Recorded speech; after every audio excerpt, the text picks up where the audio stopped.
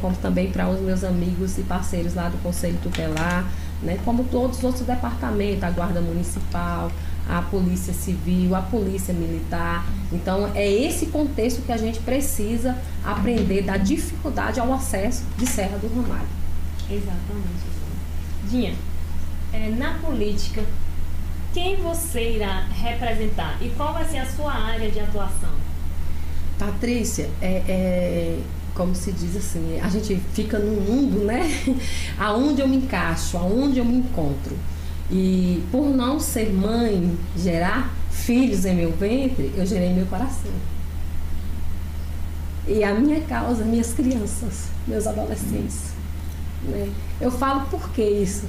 Porque foi aonde Deus me encaixou. Né? Então, assim, lutar pelas nossas crianças não é falar do futuro da manhã, é falar do presente de hoje. É, quando eu tive a oportunidade de ser conselheira, foi muito desafiador.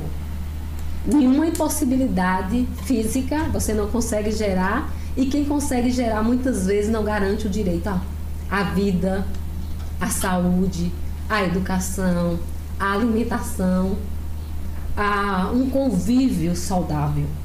Então ali eu ficava, meu Deus do céu. Teve uma época que eu tive que ser acompanhada pela psicóloga para não gerir, gerar em mim algo né, tão doloroso de encontrar uma criança que não teve nenhuma alimentação. De ver a, a, a criança ser um acesso à escola, nem a higienização, ou muitas vezes uma criança abusada, uma, uma criança desnutrida. Ai, Dinha, mas você vai conseguir resolver o mundo? Não.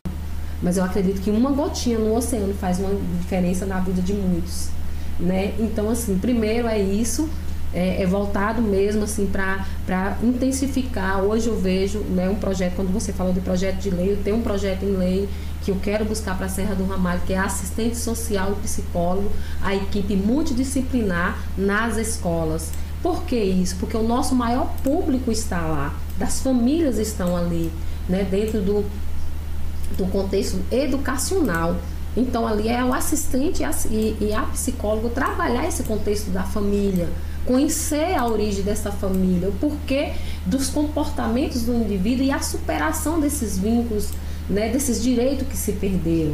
Porque a gente não consegue ter uma varinha mágica e chegar lá e fazer um milagre mas a gente consegue, com mecanismo, estratégia, o conhecimento da causa, levar projetos de intervenções, principalmente agora no contexto onde a gente viu, vive pós-pandemia, as tecnologias estão dentro de casa, né? um novo mundo, os jovens muitas vezes estão mais é, com a, o seu contexto e, e, e, a sua formação de personalidade, de, um, de, de algo que não é o nosso mundo que não é a realidade do que ele vive ali, do que ele, ele idealiza, do que ele quer que seu pai e sua mãe ofertem. Então, quantas dificuldades nós enfrentamos onde hoje os pais, mães diz não é pelo financeiro, é o desafio de educar o meu filho. Hoje a gente vê né, uma sociedade que se organiza, planeja, mas se eu perguntar, Patrícia, você quer ter mais filhos? Muitos dizem que não, dois, três é suficiente. Meu Deus, só tem gente que fala assim, só um já é o suficiente. E se eu te perguntasse assim, como eu faço essa pergunta a várias famílias, mas por que, que vocês não querem ter mais filhos?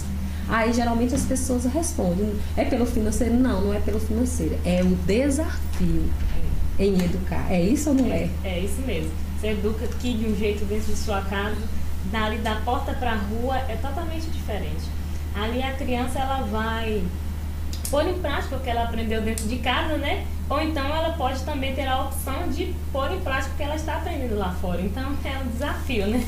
Então, é isso, então, dos projetos, é isso, é conhecer esse contexto, essa cultura, os arranjos familiares, onde é o ponto mais forte dessa família que a gente precisa ser fortalecer, né? E dentro desse contexto aí você visita a avó, você visita o tio, você visita a madrinha, você visita o, o, a, a, vizinho mais próximo que tem o contato, porque você vai buscando. Então, essa equipe multidisciplinar dentro das escolas onde está o nosso maior público, né? Onde a gente consegue é, chegar a mais família no contexto, né? Hoje eu acredito que, salvo, salvo engano, é 40, é 41 escolas dentro de uma comunidade de 46, né, entre agrovilas e povoados, Então é, é a forma de chegar às políticas públicas, dar esse acesso ao direito.